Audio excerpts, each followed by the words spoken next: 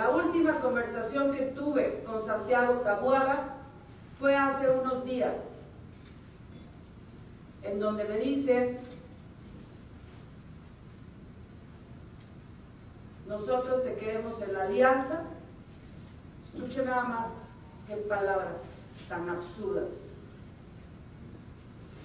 Nosotros te queremos en la alianza, sin embargo, yo no puedo ofrecerte nada más, no te puedo ofrecer nada más que trabajes conmigo, que te subes a esta campaña y cuando ganemos, a ver qué te damos.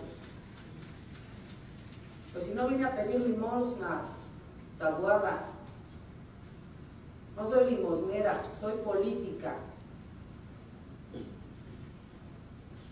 Después de que en ese momento le dije, Tabuada, no me interesa tu llamado. Gracias, entre otras palabras. Me escriben un mensaje diciendo, estamos valorando tu reelección. Estamos valorando tu reelección. ¿Cómo te atreves, Santiago Tabuada, a ofrecerme algo que tú negociaste, que tú entregaste. Tú mismo entregaste la Cuauhtémoc. ¿Cómo te atreves, Santiago Tabuada, a hacer acuerdo sobre otro acuerdo?